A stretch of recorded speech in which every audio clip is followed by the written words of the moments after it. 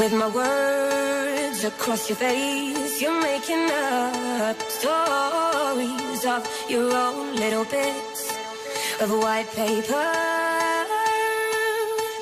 in pockets deeper than you know. You painted black upon the whitest lies. You've seen them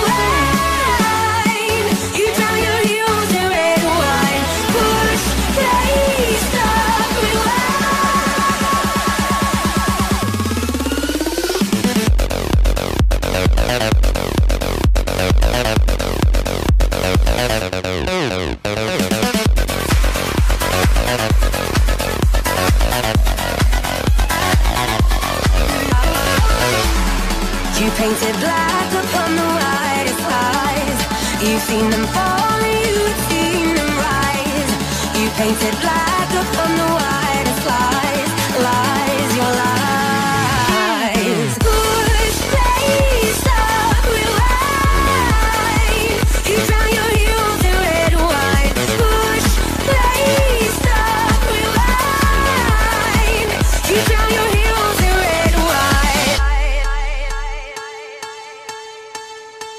Enough to see your hands sneaking out of his embrace, paper thin, whispering.